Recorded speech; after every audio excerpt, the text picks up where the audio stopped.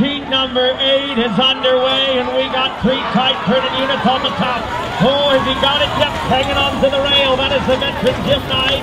And outside of him is Roger Moore. And then we look three wide. That is Neal Walgenbach. You want to talk about a couple veterans that could tell some stories along the backstretch. There's three of them, and there's three wide. Well, you can hear a little something too from the number four man in Ray Mitsuing as we go. He number eight. The backstretch is where we find him.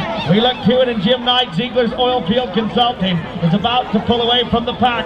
Roger Moore and Russ Way Construction, the outrider turn driver. Well, he has got to get things gathered as he got some speed, but he's also got some company. That number third spot hanging on to his right tide wheel team. That is Neal Walgenbach and Baker Hughes, the high point driver from a year ago. Oh, and he found it on the third turn. Once again, Ray Mitsuing, Timberline, and Heart Lake, the 27-year veteran. He needs to find some horsepower. Has he got it? Don't you dare count any of them out because it's heat number eight, and it is hotter than a Texas tin roof. Come on now. Well, they're throwing the reins at the mains because we need some speed to take that lead. We're three wide. Who's it going to be?